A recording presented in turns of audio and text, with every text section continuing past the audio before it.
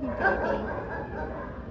I'd like like you to meet Mickey. Mickey's impound here at the Baldwin Park Animal Care Center is A557-3777. Mickey is a 14-year-old uh, Welsh, they've got him down as a Welsh Corgi mix, so I'm not sure. He looks like he might have some terrier in him.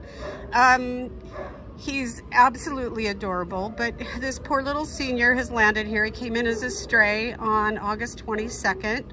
Um, he will need to be seen by an outside vet um, to have him checked out a little bit because he is, he is up there in age and he has a little bit of a dribbling problem. So uh, what can you tell us about him, Karen? Is there anything else you can add? Well, he, I think he seems sad. I don't know if he's missing his family or he might have some pain. Often when uh, a dog constantly dribbles urine, which is what is happening, and whoever takes him needs to know that it might be uh, urine stones, urinary tract stones, um, which requires removal of some kind.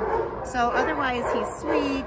He's going to be a lap dog. He doesn't move around, but if he's in pain, he might change his demeanor if he gets those bladder stones taken away. But anyway, I think yeah, he is awfully sweet. Uh, if you're interested in helping out this poor little senior and get him out of here, give him a good home. He's absolutely adorable. Again, his name is Mickey, and his impound number is A557-3777. Oh, bye, sweetheart. He needs a rescue.